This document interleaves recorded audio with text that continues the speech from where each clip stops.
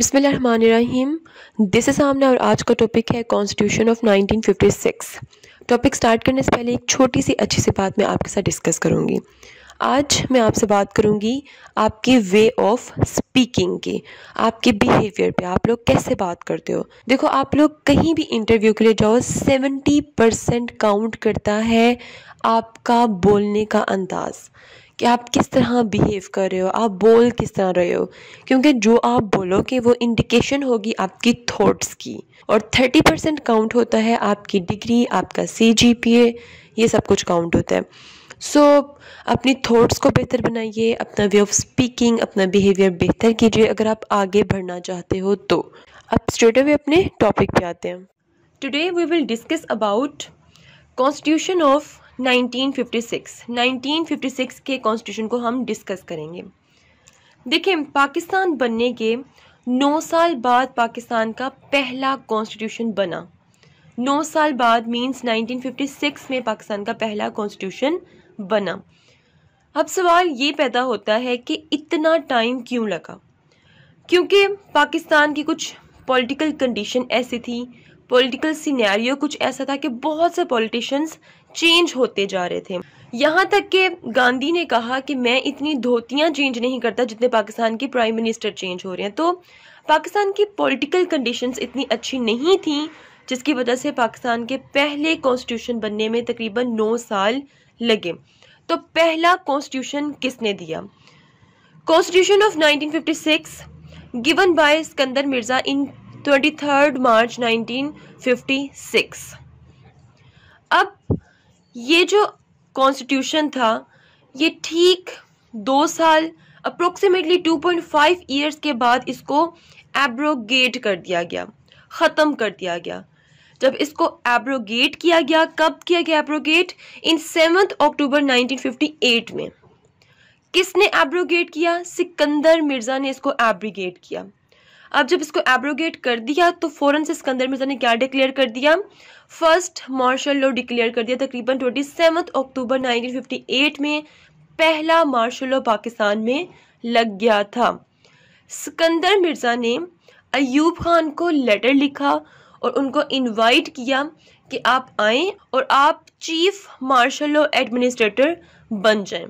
तो इस तरह पाकिस्तान में पहला मार्शल लॉ कब लगा था? 1958 में। अब 1956 के कॉन्स्टिट्यूशन के हम कुछ सैलियंट फीचर्स देखते हैं। सबसे पहले, पाकिस्तान का नाम इस्लामिक रिपब्लिक ऑफ़ पाकिस्तान रखा गया। The name of the country was adopted as the Islamic Republic of Pakistan the objectives resolution was included as preamble in the constitution अब इस लाइन का क्या मतलब है? प्रीएम्बल का क्या मतलब है कि ऑब्जेक्टिव रेजोल्यूशन को इंक्लूड कर दिया गया, शामिल कर दिया गया किसमें? कॉन्स्टिट्यूशन में। प्रियम्बल का मतलब है बेसिक राइट्स देखिए, इस पॉइंट को आप लोग ज़रा समझ लें। फ़र्ज़ करें कॉन्स्टिट्यूशन बनने से पहले हमारे पास एक डॉक्यूमेंट था। किस चीज़ का डॉक्यूमेंट था? ऑब्जेक्टिव रेजोल्यूशन का डॉक्यूमेंट था। ऑब्जेक्टिव रेजोल्यूशन बेसिकली क्या होता है? करारदाद मकासद। मतलब कि ऑब्जेक्टिव रेजोल्यूशन डिफाइन करता है which define basic objective of Pakistan. मतलब हमारा पाकिस्तान हासिल करने का मकसद क्या था? यहाँ पर सोवरेनिटी ऑफ़ अल्लाह अलमाइटी होगी। यहाँ पर हम कुरान हदीस के सुनत में ज़िंदगी बसर करेंगे। यहाँ पर जुडिशरी हमारी इंडिपेंडेंट होगी। जो माइनॉरिटीज़ होंगी, उनको उनके राइट्स दिए जाएँगे। जो वुमेन होंगी, उनके उनके राइट्स दिए जाएँगे। तो ये हमारा मकसद था। ठीक है?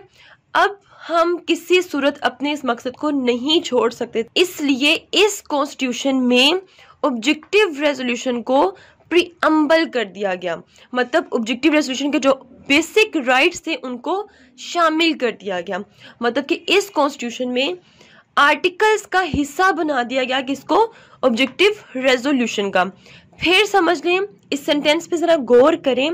प्रीअम्बल का मतलब होता है कि जो ऑब्जेक्टिव रेजोल्यूशन के जो बेसिक राइट्स थे, उनको इस कॉन्स्टिट्यूशन में शामिल कर दिया गया। अब दूसरा इम्पोर्टेंट फीचर इस कॉन्स्टिट्यूशन में क्या है? वो है फेडरल सिस्टम का। फेडरल सिस्टम बेसिकली क्या होता है? This constitution provide for a federal system in the country इस कॉन्स्टिट्यूशन में फेडरल सिस्टम नाफज कर दिया गया। मतलब कि पाकिस्तान में इस कॉन्स्टिट्यूशन के बाद क्या होगा? फेडरल सिस्टम होगा। फेडरल सिस्टम क्या होता है? The power was divided among the centre and provinces मतलब कि इस मुल्क की जो पावर होगी, वो डिवाइड होगी किसमें सेंटर में और प्रोविंसेस में। सेंटर और प्रोविंसेस में पावर किस तरह डिवाइड हो सकते हैं? देखें, इस टाइम पाकिस्तान में किसकी हुकूमत है? पीटीआई की हुकूमत है। मतलब कि इमरान खान की हुकूमत है। इस टाइम पूरे पाकिस्तान को कौन चला रहा है इमरान खान? पाकिस्तान के कितने सूबे हैं इस टाइम चार सूबे हैं। हर सूबे में अलग अलग हुकूमत होगी फ़र्ज़ करें कि पंजाब में नून लीग की हुकूमत है। फ़र्ज़ करें सिंध में बिलावल भुट्टो की हुकूमत है। फ़र्ज़ करें के पी के में पी टी आई की हुकूमत है। ठीक है, ये हम लेट सपोज़ कर रहे हैं। ये मैं करंट सिनेरियो आपके साथ डिस्कस नहीं कर रही हूँ। तो अब क्या होगा कि इस कॉन्स्टिट्यूशन में लिख दिया गया कि एक मुल्क की सारी की सारी power government of a state के पास नहीं होगी बल्कि जो प्रोविंस हैं उनके पास भी पावर होगी। अब इस पॉइंट को बेहतर तरीके से मैं आपको यहाँ पर समझाती हूँ। 1956, 1962, 1973 इन तीनों कॉन्स्टिट्यूशन और ऑब्जेक्टिव रेजोल्यूशन के मुताबिक पाकिस्तान को एक फेडरेशन करार दिया गया है। फेडरेशन क्या होती है? वफाक होती है। फेडरेशन क्या होती है? बेसिकली एक ऐसा सिस्टम होता है a system of government in which power is divided between the centre and provinces जिसमें पावर को कहाँ डिवाइड कर दिया जाता है? सेंटर सेंटर का मतलब है कि उस टाइम उस मुल्क में जिस बी पार्टी की हुकूमत होगी, उसके पास भी पावर होगी और इसके अलावा उस मुल्क में जितने भी प्रोविंसेस होंगे, जितने भी सूबे होंगे, उन सब के पास भी पावर होगी। ऐसा नहीं होगा कि पावर सिर्फ़ सेंटर के पास हो, या ऐसा नहीं हो सकता कि पावर सिर्फ़ प्रोविंसेस के पास हो। तो पावर को बांट दिया गया। ठीक है? जब पावर को बांट दिया गया तो उसकी बेस से पाकिस्तान को क्या करार दिया गया? वफाक करार दिया गया। पाकिस्तान को क्या करार दिया गया? फेडरेशन करार दिया गया। अब अगला पॉइंट बहुत मज़े का, उसको भी जरा बहुत ध्यान से आपने अंडरस्टैंड करना। है जब पाकिस्तान बना, जब बंगाल अलग नहीं हुआ था, उस टाइम पाकिस्तान के दो यूनिट्स थे। दो यूनिट का मतलब क्या होता है? देखें, पंजाब, सिंध, बलूचिस्तान के पी के ये चार सूबे, इनको क्या कहते थे? वेस्ट पाकिस्तान देन बंगाल, इसे क्या कहते थे? ईस्ट पाकिस्तान अब इन चारों सूबों को मतलब कि वेस्ट पाकिस्तान को एक यूनिट बना दिया गया और बंगाल को दूसरा यूनिट बना दिया गया। इस तरह जो पाकिस्तान है, उसको फेडरेशन करार दिया गया और फेडरेशन के कितने यूनिट थे? दो यूनिट्स थे। मतलब कि पावर किस किसमें डिवाइड होगी है? गवर्नमेंट में भी डिवाइड हो गया और इन सब प्रोविंसेस में भी डिवाइड हो गई। अब सवाल यहाँ पर ये बनता है कि प्रोविंसेस को पावर क्यों दी जाती है? क्यों इस कॉन्स्टिट्यूशन में लिखा गया कि पावर प्रोविंसेस को भी मिलेगी? कि ताकि प्रोविंसेस को उनकी अपनी प्रोविंशियल अटोनमी मिले। जब किसी के पास प्रोविंशियल अटोनमी होती है, जब किसी सूबे के पास प्रोविंशियल अटोनमी होती है, तब ही वो ह्यूमन वेलफेयर के लिए काम कर सकता है। प्रोविंशियल अटोनमी की बेस पर हर सूबे को, पाकिस्तान के हर साल के रेवेन्यू में से एक स्पेसिफिक अमाउंट ऑफ़ मनी मिलेगी और उन पैसों को वो उस सूबे के लोगों की वेलफेयर के लिए खर्च करेगा। ठीक है? पावर सिर्फ़ सेंटर के पास होती तो जो हुकूमत होती पाकिस्तान की, ये उसकी रिस्पॉन्सिबिलिटी थी वो किस सूबे में क्या क्या मज़ीद डेवलपमेंट्स लेकर आती है। लेकिन 1956 कॉन्स्टिट्यूशन में ये बता दिया गया था कि power was divided among centre and provinces मुझे उम्मीद है अब आपको पता चल गया होगा कि सेंटर क्या होता है और प्रोविंसेस क्या होता है। सेंटर के पास पावर होने का मतलब क्या होता है और प्रोविंसेस के पास पावर होने का क्या मकसद होता है। Number third parliamentary system parliamentary system was adopted according to it president was head of the state and prime minister headed द government. He introduced parliamentary form of government. Sikandar Mirza ने constitution में ये add कर दिया कि आज के बाद पाकिस्तान में पार्लियामेंट्री सिस्टम होगा। मतलब कि दो हेड होंगे। एक हेड ऑफ़ द स्टेट होगी। एक हेड ऑफ़ गवर्नमेंट होगी। Clear head of state and head of government दोनों क्या होंगे? सेपरेट होंगे। मतलब एक के पास पावर नहीं होगी बल्कि पावर डिवाइड कर दी उसने प्रेसिडेंट और प्राइम मिनिस्टर में। तो हेड ऑफ़ द स्टेट कौन होगा आज के बाद? प्रेसिडेंट होगा। और हेड ऑफ़ द गवर्नमेंट कौन होगा आज के बाद? प्राइम मिनिस्टर होगा। अब सवाल ये पैदा होता है कि ज़्यादा पावरफुल कौन है? ज़्यादा पावरफुल कौन है? हमेशा वो पावरफुल ज़्यादा होता है जो गवर्नमेंट बनाता है, जिसकी गवर्नमेंट होती है। हु फॉर्म अप गवर्नमेंट तो कौन गवर्नमेंट बनाएगा? इस सिस्टम के अकॉर्डिंग प्राइम मिनिस्टर गवर्नमेंट बनाएगा। तो ज़्यादा पावरफुल कौन हुआ? प्राइम मिनिस्टर अब जिसकी गवर्नमेंट होगी, जो फॉर्म करेगा गवर्नमेंट वही कैबिनेट बनाएगा। सो प्राइम मिनिस्टर आज के बाद अपनी गवर्नमेंट बनाएगा अलग से और अपनी कैबिनेट बनाएगा। कैबिनेट में क्या होता है? मिनिस्टर्स होते हैं। जो सब बैठ के पॉलिसीज़ बनाते हैं, उन पॉलिसीज़ पे मुल्क चलता कॉन्स्टिट्यूशन ऑफ़ 1956 के मुताबिक पार्लियामेंट्री सिस्टम होना था प्राइम मिनिस्टर ने आना था। ये सिकंदर मिर्ज़ा की ज़िंदगी की सबसे बड़ी गलती थी। क्यों सबसे बड़ी गलती थी? क्योंकि पार्लियामेंट्री सिस्टम के अकॉर्डिंग क्या होंगे? अब इलेक्शंस होंगे, और इलेक्शंस होंगे तो नई गवर्नमेंट बनेगी। नई गवर्नमेंट बनेगी तो पावर किसके पास आएगी? प्राइम मिनिस्टर के पास आएगी। प्राइम मिनिस्टर के पास आएगी तो क्या होगा? कैबिनेट बनेगी।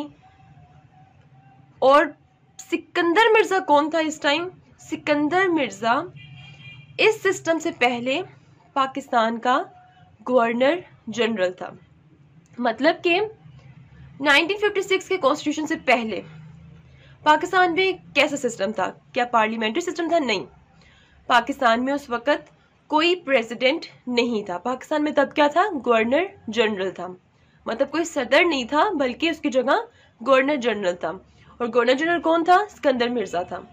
आप एक तरह से कह सकते हो कि 1956 के कॉन्स्टिट्यूशन से पहले सिकंदर मिर्ज़ा पाकिस्तान का सदर था। क्लियर हो गया? तो अब इस सिस्टम के बाद सिकंदर मिर्ज़ा क्या बन गया पाकिस्तान का? प्रेसिडेंट बन गया। और इलेक्शंस के बाद क्या होनी थी? एक नई हुकूमत बननी थी देन कैबिनेट बननी थी, फिर मुल्क चलना था। पावर किसके पास है ज़्यादा? प्राइम मिनिस्टर के पास है। सिकंदर मिर्ज़ा कौन है? प्रेसिडेंट है। अब उसने क्या किया? उसको नज़र आ गया कि उसने बहुत बड़ी गलती कर दी है। उसने कहा कि अगर मैंने इलेक्शंस होने दिए तो सारी की सारी पावर तो प्राइम मिनिस्टर के पास चली जाएगी। मैं तो एक साइड पे हो जाऊँगा। उसने कहा इलेक्शंस नहीं होंगे। लोगों ने प्रोटेस्ट किया, लोगों ने एहतजाज किया। उस प्रोटेस्ट को रोकने के लिए सिकंदर मिर्ज़ा ने 1956 के कॉन्स्टिट्यूशन को एब्रोगेट कर दिया। इस तरह पाकिस्तान में पहला मार्शल लॉ लगा। अब प्राइम मिनिस्टर और प्रेसिडेंट की कुछ अथॉरिटीज़ होंगी। उसको डिस्कस करते हैं। प्रेसिडेंट कौन होगा? हेड ऑफ़ स्टेट होगा। पीएम कौन होगा? हेड ऑफ़ गवर्नमेंट होगा। दोनों का मुसलमान होना ज़रूरी है। President should be Muslim and prime minister को भी मुसलमान होना ज़रूरी है। इसका मतलब ये है कि इस कॉन्स्टिट्यूशन में इस्लामिक प्रोविजंस अवेलेबल थी। प्रेसिडेंट का पाँच साल का टेन्योर होगा पीएम का भी पाँच साल का टेन्योर होगा। प्रेसिडेंट के पास ये राइट होगा कि वो एमरजेंसी डिक्लेयर कर सकता है एक मुल्क में। अब यहाँ पे एक मिनट के लिए मैं रुककर आपको ये बताती जाऊँ कि एमरजेंसी और मार्शल लॉ में क्या डिफरेंस होता है। देखें, जब किसी मुल्क में एमरजेंसी लगती है ना, उसका मतलब है वो नीड ऑफ़ द टाइम है। मतलब उस वक्त की ज़रूरत है, थोड़ी देर के लिए लगेगी, फिर ख़त्म हो जाएगी। मतलब अगर कोई इंटरनल या एक्सटर्नल डेंजर उस मुल्क में क्रिएट हो गया है तो प्रेसिडेंट वहाँ पे एमरजेंसी नाफज कर सकता है थोड़ी देर के लिए। ठीक है? मार्शल लॉ क्या होता है? जब मार्शल लॉ लगता है किसी मुल्क में तो जो फॉरेन वर्ड है वो उस मुल्क के साथ कट ऑफ़ कर देता है। क्यों? क्योंकि आर्मी का काम होता है एक मुल्क को डिफेंस प्रोवाइड करना। आर्मी का काम किसी मुल्क को चलाना नहीं होता। तो मार्शल लॉ में क्या होता है कि फॉरन वर्ड आपके साथ क्या करता है? कट कर देता है। तो जो पीएम होता है, ये लीडर होता है किसका? पार्लियामेंट्री ग्रुप का। President he was authorise to appoint governors जजेस of supreme court auditor general and advocate general मतलब इन सबको अपॉइंट कर सकता है, कौन अपॉइंट कर सकता है? प्रेसिडेंट अपॉइंट कर सकता है। अब प्राइम मिनिस्टर के पास ये राइट होता है कि वो अपनी कैबिनेट को नॉमिनेट करे among the members of national assembly and cabinet was answerable to assembly और जो कैबिनेट होगी, वो जवाबदेह होगी किसको? नेशनल असेंबली को। जैसा कि आज पीटीआई की कैबिनेट में आपको कौन कौन नज़र आता है? फवाद चौधरी नज़र आता है, असद उमर नज़र आता है, ये सब क्या है? ये इमरान खान की एक कैबिनेट है। 1956 के कॉन्स्टिट्यूशन के अकॉर्डिंग अब से पाकिस्तान में क्या होगी? पार्लियामेंट्री फॉर्म ऑफ़ गवर्नमेंट होगी। पार्लियामेंट्री फॉर्म ऑफ़ गवर्नमेंट में क्या होता है कि इसमें खाना भी पड़ता है और खिलाना भी पड़ता है। लेकिन प्रेसिडेंशियल फॉर्म ऑफ़ गवर्नमेंट में क्या होता है? इसमें जो उस मुल्क का हुक्मरान होता है, वो कहता है कि भाई, मैंने खाना है और मैंने किसी को खाने नहीं देना। ठीक है? तो अब आपसे ये सवाल है कि पाकिस्तान के लिए कौन सा निज़ाम हुकूमत बेस्ट है? पार्लियामेंट्री फॉर्म ऑफ़ गवर्नमेंट या प्रेसिडेंशियल फॉर्म ऑफ़ गवर्नमेंट मैं इसका आंसर दूँगी आपको 1962 के कॉन्स्टिट्यूशन में। और आप इस वीडियो के कमेंट्स में मुझे इसका आंसर लाजमी दीजिए। तो अब हम बात करते हैं फंडामेंटल राइट्स की 1956 के कॉन्स्टिट्यूशन के according this constitution provided for the fundamental right for the citizen of Pakistan इस कॉन्स्टिट्यूशन के मुताबिक पाकिस्तान के शहरियों को, पाकिस्तान के रिहाइशों को क्या मिलेगा? फंडामेंटल राइट्स मिलेंगे। फंडामेंटल राइट्स अवेलेबल होंगे। लैंग्वेज 1956 के कॉन्स्टिट्यूशन के अकॉर्डिंग पाकिस्तान में कौन सी लैंग्वेज नेशनल होगी? Urdu and Bengali were made national languages Urdu और बंगाली दोनों को नेशनल लैंग्वेज का रुतबा दे दिया गया। क्यों? क्योंकि 1956 में बंगाल पाकिस्तान का एक हिस्सा था। Now let's discuss about unicameral legislature 1956 के आयन के मुताबिक मुल्क में लेजिस्लेचर कैसा होगा? यूनिकैमरल होगा। इस टाइम हमारे मुल्क का लेजिस्लेचर कैसा है? बाई कैमरल है। बाई कैमरल का मतलब होता है कि आपके मुल्क में दो हाउस हैं। एक कौन सा? सेनेट, जिसे अपर हाउस कहते हैं, और एक है लोअर हाउस जिसे नेशनल असेंबली कहते हैं। ठीक है? पाकिस्तान में इस टाइम दो हाउस है। पाकिस्तान में इस टाइम बाई कैमरल लेजिस्लेचर लेकिन 1956 के आयन के मुताबिक पाकिस्तान में कितने लेजिस्लेचर होंगे? सिर्फ़ एक।